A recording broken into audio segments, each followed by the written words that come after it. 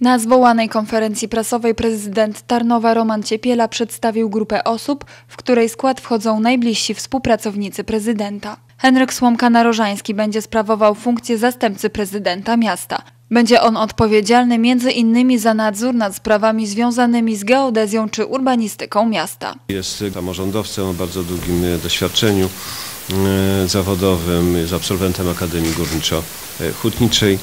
E, w latach 90-94 był wiceprezydentem miasta, jest wiceprezesem Stowarzyszenia Rodzin Ofiar Katynia, jest, był radnym Rady Miejskiej w latach 98-2002, następnie 2002-2006. Jest od 2006 roku jest zastępcą prezydenta miasta Tarnow. Będzie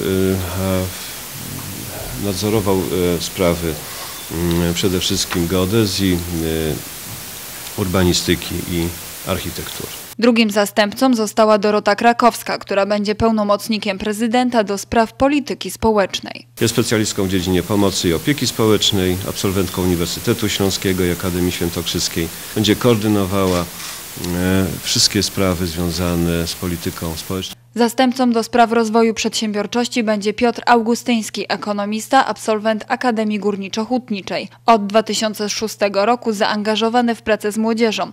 Od 2008 roku zastępca dyrektora Ochotniczych Chłopców Pracy w Tarnowie. Krystyna Latała, do tej pory pełniąca funkcję zastępcy prezydenta miasta, tym razem na stanowisku pełnomocnika prezydenta do spraw kultury. Absolwentka filologii polskiej Uniwersytetu Jagiellońskiego, mecenas kultury, dwukrotnie nagrodzona statuetką uskrzydlony.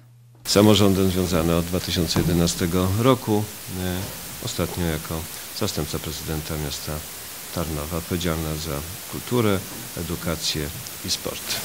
Pełnomocnikiem do spraw komunalnych będzie Jadwiga Stankiewicz, pracownik samorządowy, inżynier budownictwa. Odpowiadała w Urzędzie Miasta Tarnowa za sprawy komunalne, sprawowała również nadzór nad jednostkami, spółkami związanymi z gospodarką komunalną.